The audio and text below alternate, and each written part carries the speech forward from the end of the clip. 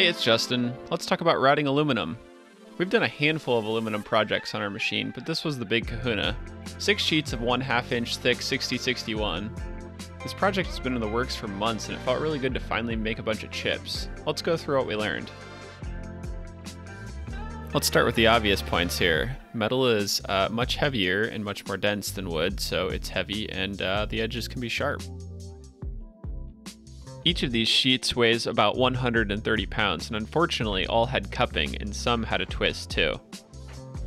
Let's not ignore the incredible amount of film that was on each sheet, and honestly didn't do much to protect the surface, but was tricky as hell to get off. Let's jump into CAM in Fusion 360. We'll go through the setup of a couple sheets and then go cut some parts. If the layout looks generously spaced, it is. We probably would have spaced them tighter, but the client actually nested these parts and ordered the material. Our first operation is drilling. We're going to use a quarter inch high speed steel bit. We're going to run at 5,000 RPMs, plunge at 25 inches a minute. Under geometry, we're using selected points. We actually added a few more for hold down and then had to redraw some of the points because there were some funky circles from the client's DXF. Nothing else is too surprising here. Under type, we are using chip breaking, partial retract, and just pretty standard chip breaking settings. Second operation is a drill with bore setting. We're using a 3 16 Amana O flute, and that is 8,000 RPMs at 80 inches a minute. And essentially, this is just going to bore out those quarter inch holes we already drilled. We're using the same selected points, but not any of the extras, just the ones in our parts. We're going to drill 5 thousandths past the model bottom. We're selecting bore milling as the setting here, climb milling, and a diameter of 0.344. In my opinion, you can't simulate enough, so let's simulate the drilling and the boring here and see what that looks like so we can go mill it. Uh, this is the quarter inch holes being drilled and then we're going to zoom in here and see the 3 16ths being bored out to the 0.344 diameter. And let's go see how that actually mills.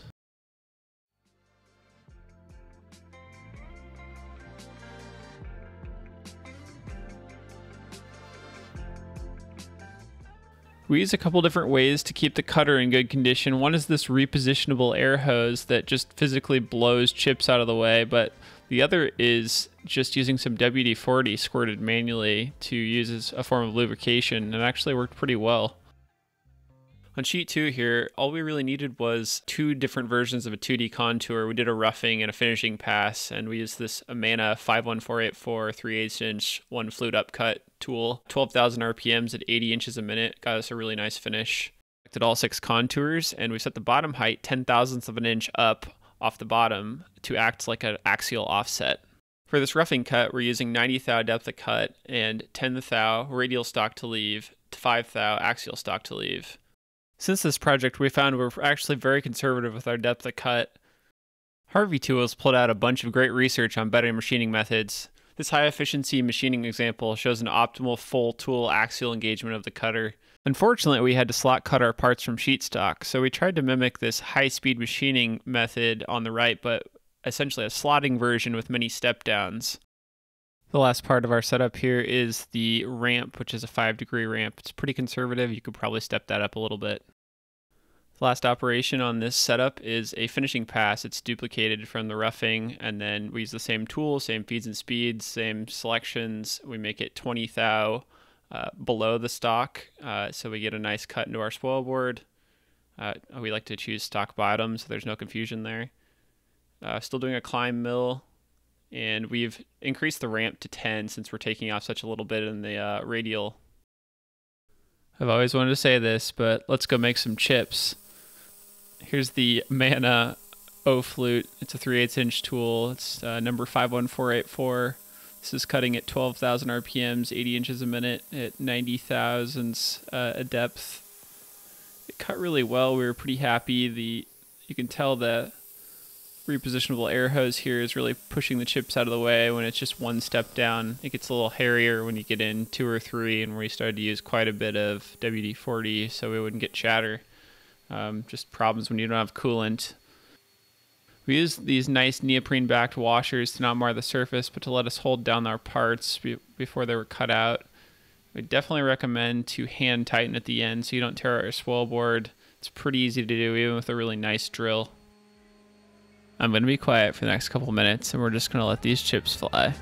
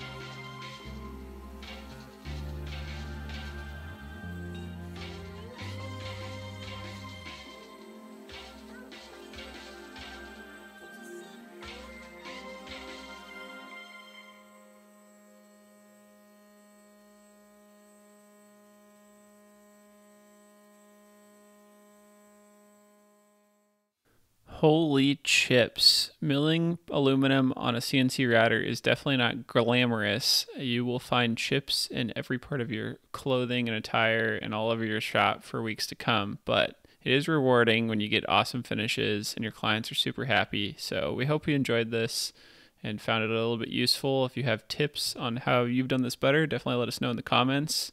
We would love it if you would subscribe and follow along with us. We'll be back soon with another video.